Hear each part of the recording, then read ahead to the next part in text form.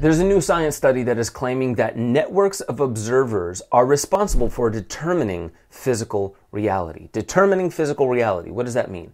They're basically saying that the observer and collective observers are actually responsible for what we would call space and time. And the proponents and the scientists in this article are actually saying that this could lead us to the understanding of the God equation, some magical mathematical theorem that basically explains all of what God is, or at least points towards it. I think that's just as presumptuous as saying there's something like a God gene or a God molecule, giving this whole splendor credit to something very, very small within it rather than the context that it swims in. But pretty much what this paper is telling us is exactly what New Agers have been telling us since the dawn of granola, and also this theory predates the written word. Very interesting. So, if you're interested in this, smash that like button, do the rest of the dance, and I'll come back at you after this rockin' intro with some more Waking Infinity news.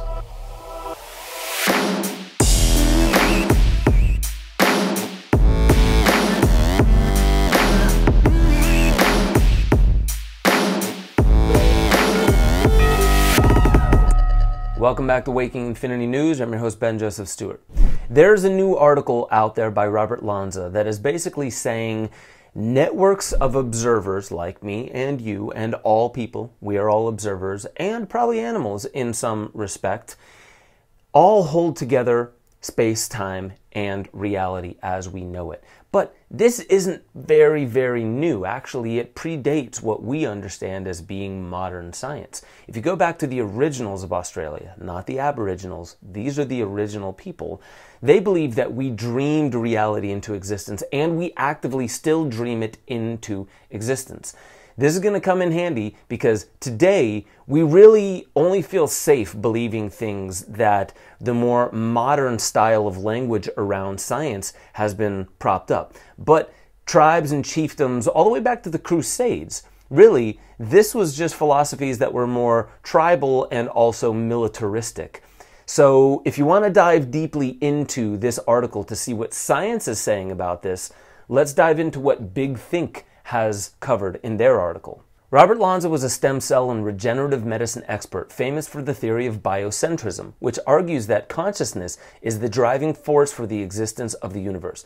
He believes that the physical world that we perceive is not something that's separate from us, but rather created by our minds as we observe it. According to his biocentric view, space and time are a byproduct, not a pre existing thing, but a byproduct of the whirl of information in our head that is weaved together by our mind into a coherent experience. His new paper, co authored by Dmitry Podolsky and Andrei Barvinsky, theorists in quantum gravity and quantum cosmology, show how observers influence the structure of our reality. According to Lanza and his colleagues, observers can dramatically affect the behavior of the observable quantities, both at microscopic and massive spatiotemporal scales. In fact, a profound shift in our ordinary, everyday worldview is necessary, wrote Lanza in an interview with Big Think. The world is not something that is formed outside of us, simply existing on its own. Observers ultimately define the structure of physical reality itself.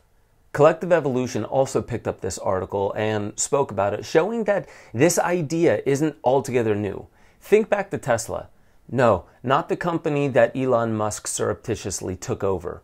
I'm talking about the guy, Nikola Tesla. Think back to what he said in a book called Man's Greatest Achievement in 1907. He said all perceptible matter comes from a primary substance or tenuity beyond conception.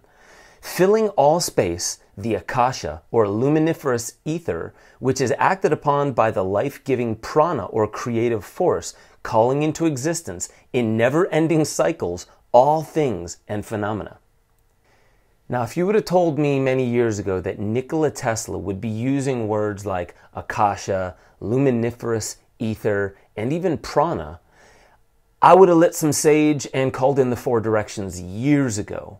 Because you see, this is a guy that modern scientists, they go back and they love, but they hate New Agers. And I'm, I'm definitely making blanket statements here. But what I'm saying is, We typically think of these concepts now as new because science dependent thinkers, think of that term, a science dependent thinker. I can't think outside or I refuse to think outside of the bounds of scientific rigor.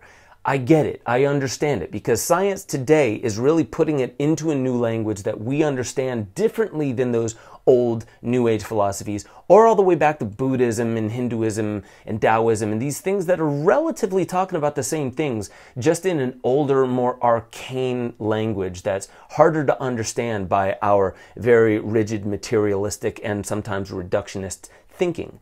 So, now, thanks to this paper, we have newer language to wrap around the very same phenomena. And thank goodness, because science dependent thinkers are loving the fact that they can believe the same things that the New Agers believed, but they don't have to actually be New Age anymore. Because consider, this is what a New Age person would say about the creation of reality. I'd like to see a positive LSD story. Would that be newsworthy? Just once? Today, a young man on acid realized that all matter is merely energy condensed to a slower vibration, that we are all one consciousness experiencing itself subjectively. There's no such thing as death. Life is only a dream, and you're the imagination of yourselves. Here's Tom with the weather.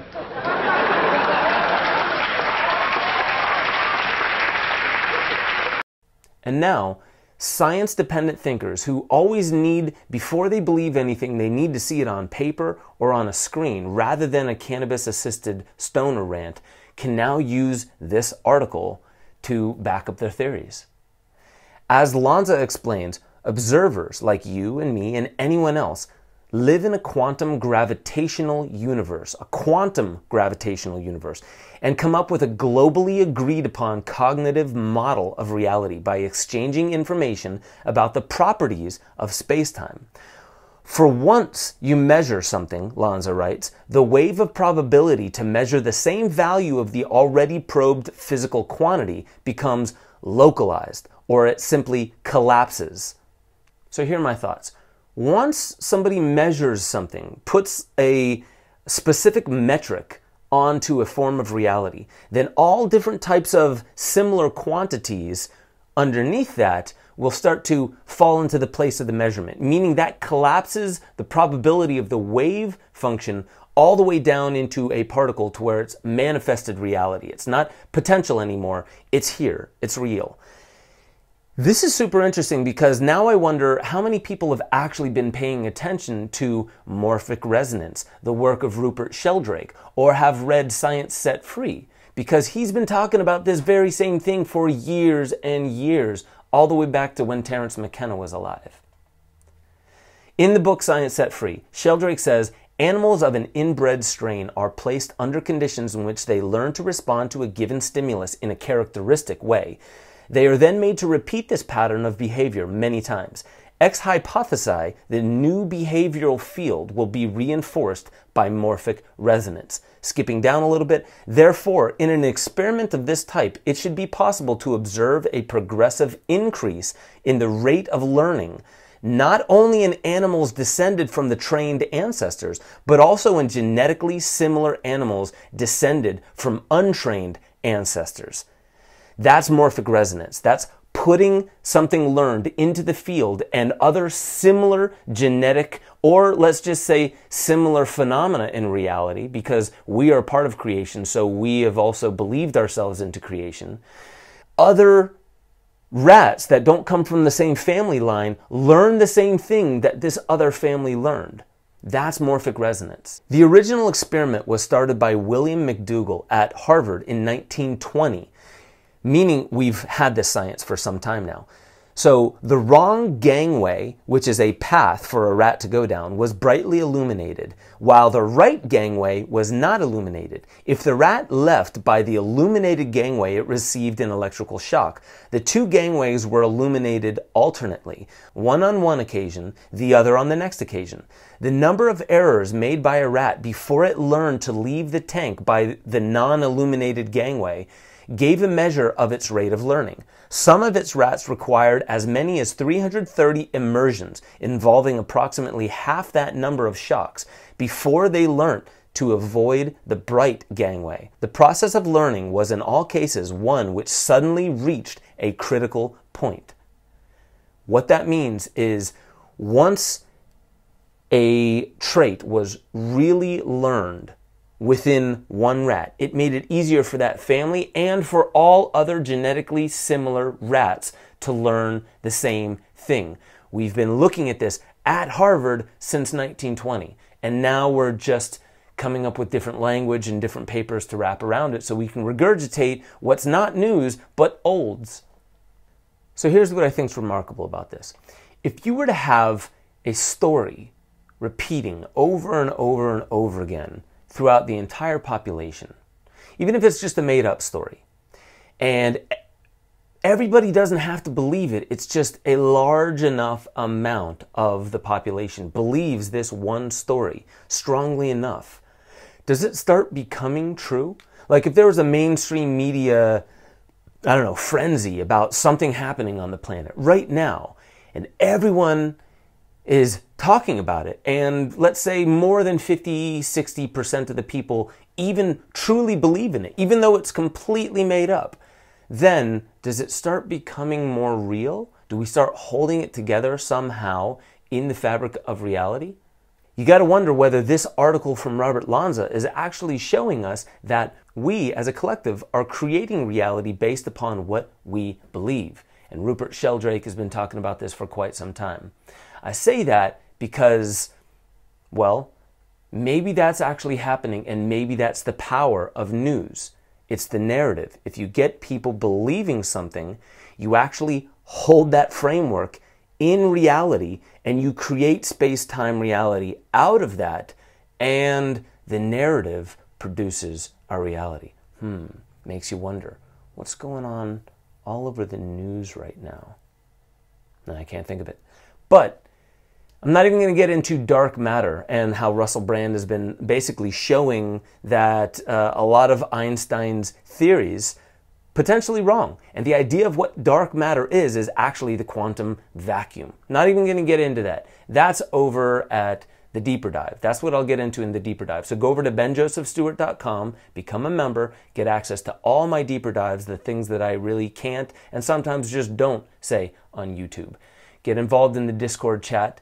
And I just want to say if you've forgotten, you, your body, everything you have access to, are the most powerful, most sophisticated, most brilliant, most beautiful technology ever produced by creation. Please don't ever forget that. And please don't let illegitimate ideas, disempowering belief structures seep into your mind because then that'll make it easier for you and your friends to hold that into an actual framework of reality and then we're going to end up with 2020 all over again. Remember 2020? Whew, that was a doozy. All right, signing off. I'll catch you guys over at the deeper dive.